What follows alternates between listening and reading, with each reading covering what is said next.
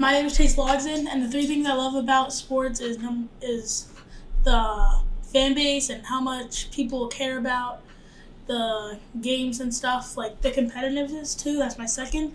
About like when somebody loses, you can you feel that like losing in you, not just the winning or you're sad or you're mad. It's like when they lose, you like you lose in yourself. So, and also my third is the passion, like how much they care about winning and losing, like like Odell Beckham Jr. winning the Super Bowl, like he like he was so happy with the passion, he started crying, and that's all I have to say. Thank you.